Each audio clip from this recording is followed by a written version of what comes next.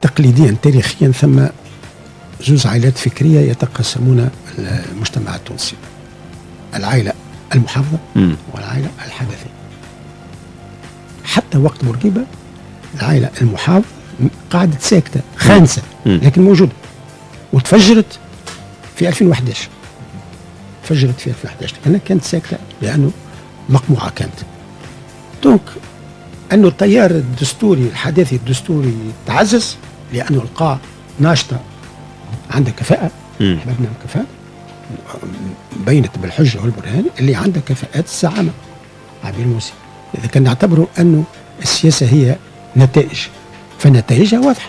يا أخي هي توا الآن على رأس أول حزب في البلاد حسب الانتخابات حسب صبر الاراء مم. يبقى نشهد نجم ناخذوها على ماضيها نجم ناخذوها على ربما بعض صفات من شخصيتها فاشية وما أدري شنو وركبت. على البلث البوركيبي بقى هذا كله نجم نناقشوا فيه. أما انتاج شنو؟ إنتاجها هي اليوم على رأس حزب شعبي عنده مدد شعبي وفي تواصل وانتشار مستمر